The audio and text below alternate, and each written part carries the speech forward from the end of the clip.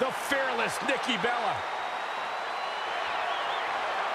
And from Scottsdale, Arizona, Nikki Bella. Go ahead, Byron. Tell us about how inspired you are. Not just me, Corey, but the entire WWE Universe. Nikki Bella, she is fearless. She is driven.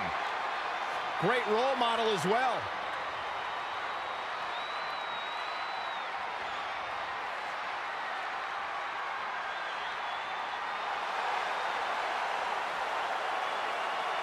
You should strive to be more like Nikki Bella, former champion. The world wouldn't know what to do with two of me.